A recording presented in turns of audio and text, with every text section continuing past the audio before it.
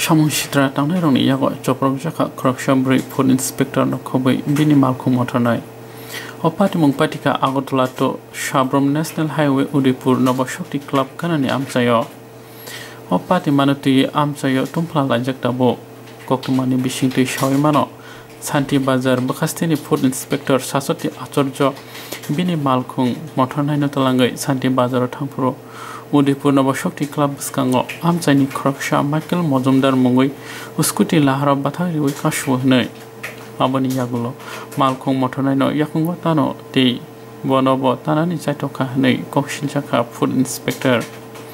অপাতিমানী পাতিমানি থায় থাং সঙ্গীয় রাধাকিশোরপুরনি বৃন্দিয়ার পাতিমানতি কাইসা দায়ের খালাই জায়গা হই হनै সয় খানারিকা রাধাকিশোরপুরনি উশি Rajib Debnath. Tabok o samung sitra tangnai Michael Majumdar রমনানি চাইটলাই থঙ্গ হनै শাখা ব্রিন্দিয়ার এখানে তো একজনই কাম করতে হবে আর অন্য কেউ আসলো না।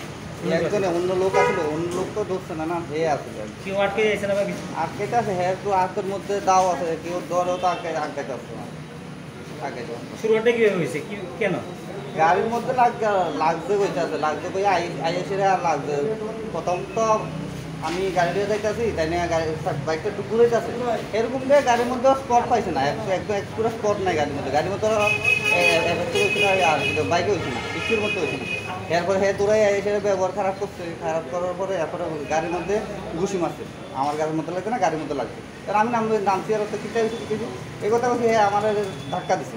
ধাক্কা দিছে এরপরে আমি কিটা হয়েছে এরপরে আমি একটা ধাক্কা দিছি পড়ে গেছে। পড়ে দেওয়ার পরে হ্যাঁ দাওয়ান না সেটা দিছে।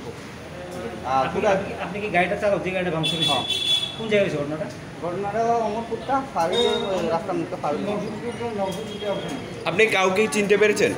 এখানে তো অনেক লোক আসছিল না আর যে পাবলিক আসছিল বাসে তোলা তো হেরে কইতাছে মাইকেল মাইকেল করে রাখতেছে এতটুকু জানি। মাইকেল মাইকেল করে রাখতেছে সিংহরাতে আগরতলা গিয়েছিলাম সঙ্গে আমার ড্রাইভার ছিল। আমি আগরতলা থেকে শান্তিবাজারের দিকে যাচ্ছিলাম।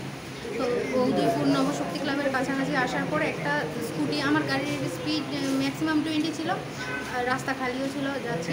একটা স্কুটি, একটা ছেলে ছিল, অল্প বয়সী ছেলে, ও রাস্তার সাইডে দাঁড়িয়েছিল হঠাৎ করে স্কুটিটাকে মাঝখানে নিয়ে এসছে, হঠাৎ করে। দাঁড়ানো স্কুটি মাঝখানে নিয়ে এসছে। ও পরে দেখলাম ও ড্রাঙ্ক ছিল, খুব বেশি ড্রাঙ্ক ছিল। দাঁড়ানোর পর আমি সঙ্গে সঙ্গে ব্রেক দিয়ে দিয়েছি। ব্রেক দেওয়ার পরে গাড়ি থামিয়েছি, ও পেছন থেকে হঠাৎ করে এসে অ্যাবিউজ করছে। মানে লাগেও নেই গাড়ি না, ওর স্কুটিতে লেগেছে, লাগেও নেই। পেছন থেকে এসে খুব বাজেভাবে অ্যাবিউজ করছে, তখন আমার ড্রাইভার যে সঙ্গে ছিল, গাড়ি আমি চালাচ্ছিলাম, তো আমার ড্রাইভার সঙ্গে বসা ছিল, ও টেম্পটেড হয়ে গেছে অ্যাবিউজ শুনে। টেম্পটেড হয়ে নেমে জিজ্ঞেস করছে কেন? তো দুজনে কথা কাটাকাটি হচ্ছে দুজনে একটু ধাক্কাধাক্কি হলো। ধাক্কাধাক্কি হওয়ার পরে হঠাৎ করে আমি দুজনকে বলছিলাম শান্ত হতে। আমি ওইদিকে তাকিয়ে বলছি দুজনকে শান্ত হতে। হঠাৎ করে পেছন মানে জানি না কখন ও পেছন থেকে এসে আমাকে একটা ইট মেরে দিল ঘাড়ের মধ্যে। তখন আমি গাড়ি থেকে নেমে গেছি। না নেমে গিয়ে সাইডে আমি পুলিশকে ফোন করছিলাম অন্ধকারে গিয়ে। পুলিশকে ফোন করছি।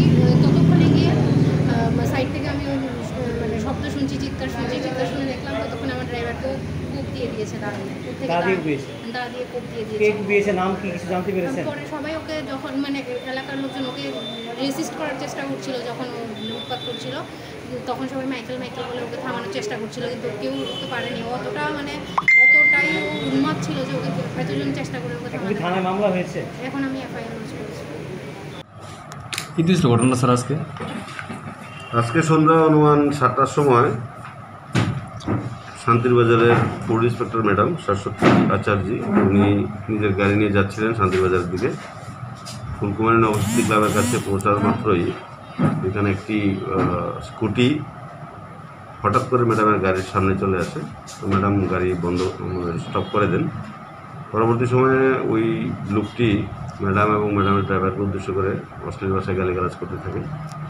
তখন ম্যাডামের ড্রাইভার যিনি ছিলেন, উনি কারণ জিজ্ঞাসা করায় ক্ষিপ্ত হয়ে ড্রাইভারকে মারধর করতে শুরু করে, পরবর্তী সময় ঘর থেকে, তার ঘর থেকে একটি দা নিয়ে এসে ড্রাইভারকে পায়ে কোপ মারে।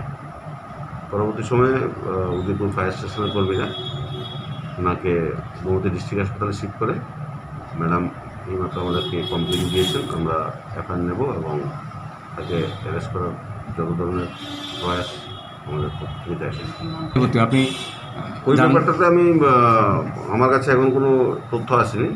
থানার রেকর্ড দেখলে জানতে পারব। আসামি স্যার অ্যারেস্ট হয়েছে এখন অব্দি না এখন অব্দি অ্যারেস্ট হয়নি আমরা অভিযান চালাচ্ছি। যত তাড়াতাড়ি সম্ভব দ্রুত আমরা তাকে অ্যারেস্ট করব।